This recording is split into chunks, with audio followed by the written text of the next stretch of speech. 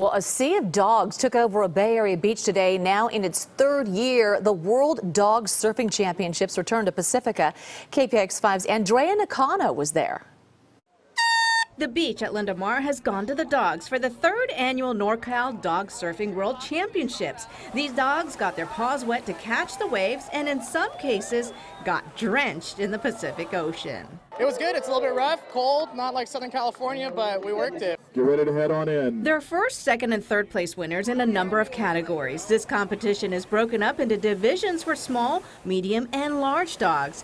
These canines are fierce competitors, but they are also buds. All the surf dogs get along really well. It's like they know that they're all surf dogs, you know, and they, they don't even trip on each other. They're just like, hey, what's up? Skylar, the surfing dog from Santa Cruz, is the reigning champ. I saw she had good balance as a pup, and then I took her out in some little waves and we started surfing and and the rest is history. Balance is important on the board, but her dislike of the water may be the other key to her success.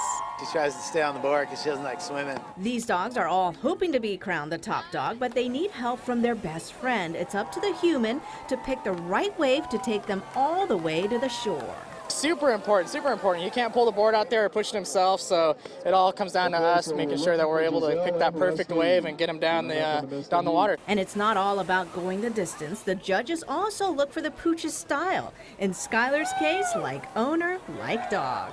She just performs out there, you know. We go out there and perform, and she does a great job. I, she loves surfing, and she, she gets such good waves in Santa Cruz that I think you know, she's just a little natural. She's a shredder. All of this fun is also for a good cause. A portion of the proceeds go to dog surfing and environmental nonprofit agencies. In Pacifica, Andrea Nakano, KPIX 5.